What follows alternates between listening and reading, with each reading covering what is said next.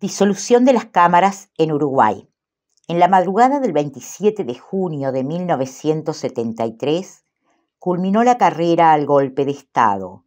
Las tropas del ejército entraron al Parlamento y fueron ocupadas las estaciones de radio. La última sesión. Los días previos a la disolución de las cámaras, la atmósfera política comenzó a espesarse.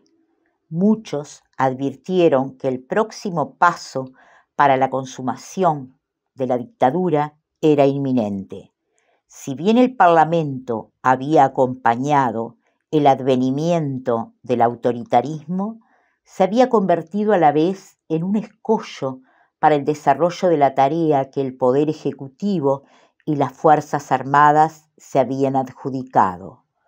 Cuando el Senado rechazó la solicitud de desafuero del senador Erro, el presidente firmó el decreto de disolución de las cámaras.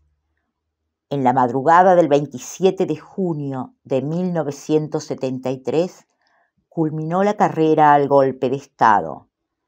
Las tropas del ejército entraron al Parlamento y fueron ocupadas las estaciones de radio.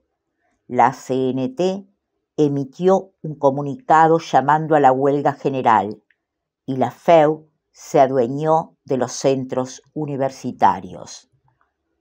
Otras medidas completaron la disolución del legislativo, revocación de los gobiernos departamentales, orden de captura para dirigentes políticos de oposición, muchos de los cuales se exiliaron a Buenos Aires, y disolución de la CNT.